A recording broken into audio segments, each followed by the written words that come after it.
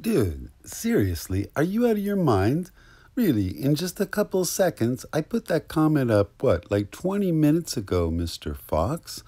It was the nicest comment. And you just took it down along with, uh, I see you're having trouble with the, the uh, theory. Cobain murder theory is bothering you. Well, Sylvie, we're going to have to do something here. This is like not good that you are taking away our First Amendment right. And we're not, and you allow those other haters, you leave their comments up. We're not haters. We love you, man.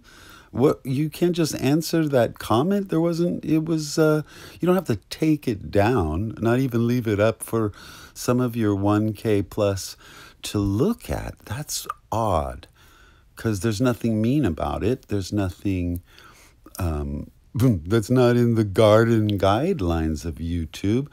What's your problem, man? Be a journalist. You said you were one. You've said it in all these posts and these comments. I allowed you. I allowed you to comment. What is this? I just asked you to turn the notifications off. That's all I'm talking about. Jeez, man. Listen to your uncles. We're all around here, or we're going to make you cry, uncle.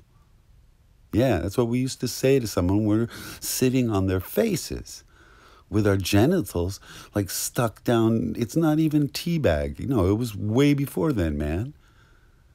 I could show you, but you don't believe uncles. But you will say uncle. You will believe us. But that's taking away the First Amendment, what you've just done there, without even replying. You know? Without even replying that's just it's the worst of that's the worst journalistic thing. You suck as a journalist sir.